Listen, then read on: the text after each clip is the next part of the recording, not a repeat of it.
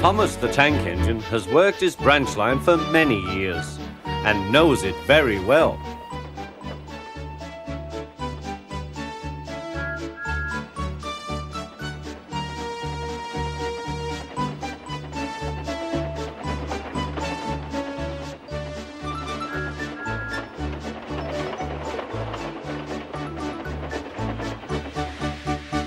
You know just where to stop, Thomas, laughed his driver.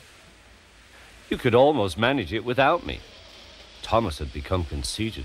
He didn't realize his driver was joking. Later, he boasted to the others.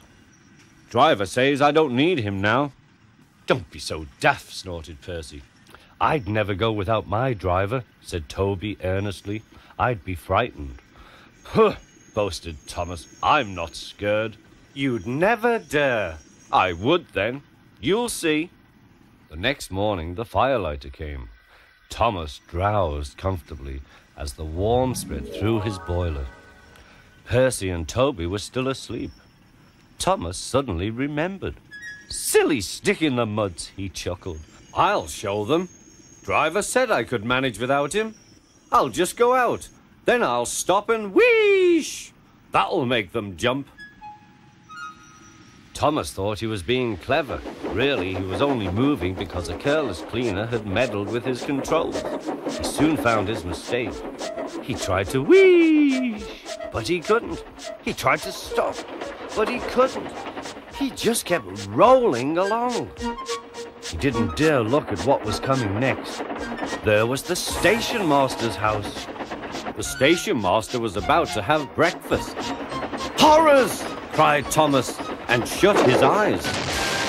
The house rocked. Broken glass tinkled. Plaster was everywhere. Thomas had collected a bush on his travels. He peered into the room through its leaves. He couldn't speak. The station master was furious. His wife picked up her plate.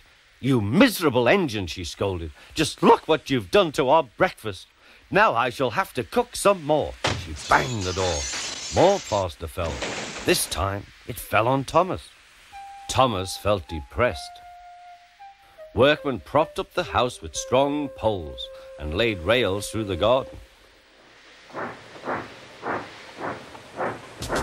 Meanwhile, Donald and Douglas arrived.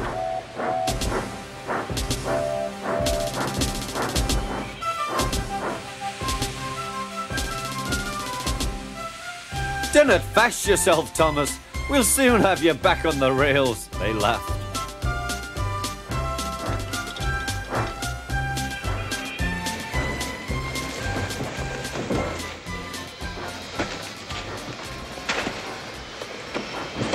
Donald and Douglas, puffing hard, managed to haul Thomas back to safety.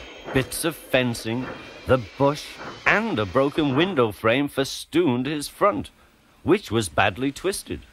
The twins laughed and left him. Thomas was in disgrace. There was worse to come. You are a very naughty engine. I know, sir. I'm sorry, sir. Thomas's voice was muffled behind his bush. You must go to the works and have your front mended. It will be a long job. Yes, sir. Meanwhile, a diesel rail car will do your work. A d- d- diesel, sir? Thomas spluttered. Yes, Thomas. Diesels always stay in their sheds till they are wanted. Diesels never gallivant off to breakfast in station masters' houses.